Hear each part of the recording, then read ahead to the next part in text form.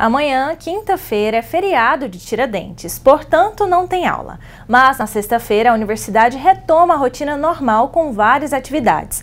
Você pode conferir o calendário acadêmico lá no site da PUC, dentro da Abra Serviços.